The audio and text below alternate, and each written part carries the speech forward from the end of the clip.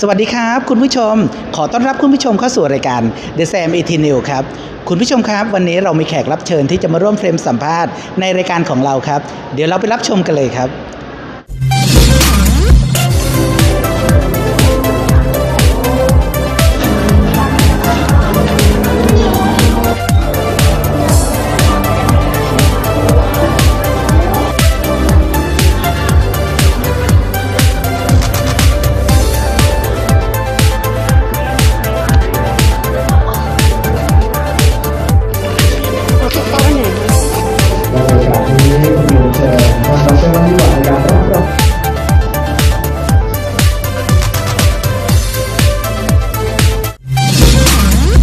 เยาวชนมีการเรียนออนไลน์นะฮะอยากให้กำลังใจเยาวชนที่เรียนออนไลน์ตัวนี้นิดนึอ๋งอเยาวชนที่เรียนออนไลน์ก็เรียนให้มีสติเรียนให้ได้ประโยชน์จริง ๆนะคะ แล้วก็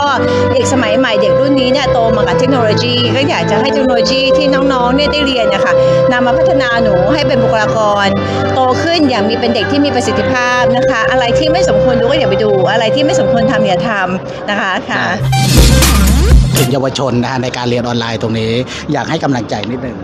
ก็เป็นเป็นยุคที่ยากจริงอืมอืมๆสำหรับการเรียนออนไลน์ คุณแม่เป็นครูอยู่นะครับก็เข้าใจก็อยากให้น้องๆบอกว่า คิดซะว่าเป็นโอกาสที่ดีในการใช้เทคโนโลยีใหม่ๆนะครับได้ได้ได้มีวิธีการเรียนรู้ใหม่ ๆ แล้วก็